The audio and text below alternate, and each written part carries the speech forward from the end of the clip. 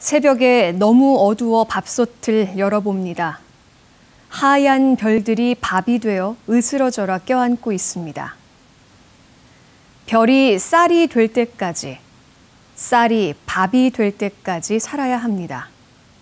그런 사랑 무르익고 있습니다. 이공항을 놓고 제주 사회에 갈등이 폭발했습니다. 제주도민이라면 자신의 편이나 이익을 위해서 찬성해야 할 권리가 있습니다. 또 이러한 침묵하는 다수를 보며 어떤 정치인은 정치적 선택을 할 수 있습니다.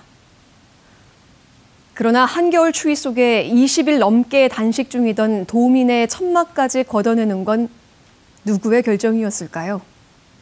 아무리 법이라는 명분이 있다 해도 말입니다.